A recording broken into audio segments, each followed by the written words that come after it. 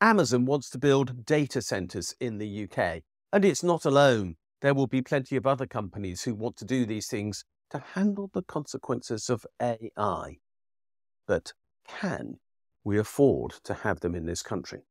I ask for two really big reasons. The first is that, although not yet widely understood, AI is going to absorb lots of energy. That artificial intelligence does not come for free. The cost is in terms of significant new amounts of electricity that must be generated to meet the demand for all these data centers that will process this supposed intelligence, which would otherwise be supplied by us, human beings. So, that's the first cost that Amazon is going to impose upon this country. And what we already know in the UK is that our national grid is creaking.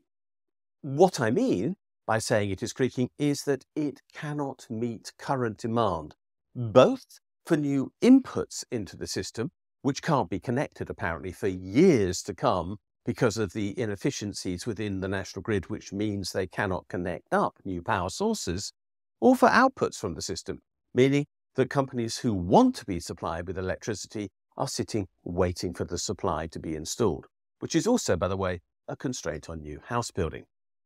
So, Keir Starmer's massive plan to bring data centers amongst many other high tech industries that he wants to be located in the UK is actually going to make our national infrastructure worse. But there's another way in which Amazon will impose an enormous demand on the UK by building these data centers. And that is by asking for more water. Because when you generate more heat, which these data centers will do, you require more water to cool the systems down. This is not marginal heat we're talking about here. It's the sort of heat that used to be created by power stations. And there was a very good reason why they, when they were located inland, were next to rivers, and that was because they needed river water to cool them. Now, are we willing to put up with the heat pollution to our water supplies that Amazon will create as a consequence? We already know there are major problems with water supply in the UK.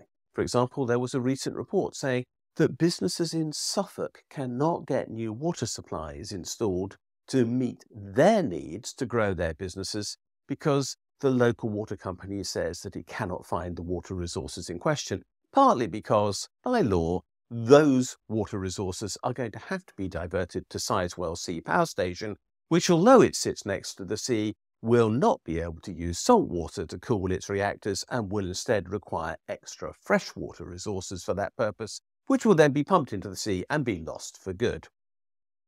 This is another potential creaking part of our infrastructure. We know the water is already failing But these new investments that Keir Starmer is trumpeting are going to make electricity and water look much more vulnerable. And yet, who's going to make the investment to turn them around and make them fit for, well, the late 20th century, let alone the 21st century? No one knows. We are quite certain that the water companies do not have the resources to already supply us with water that is fit for consumption and at the same time manage our rivers, streams, and beaches in a way that prevents them being deeply polluted by human waste.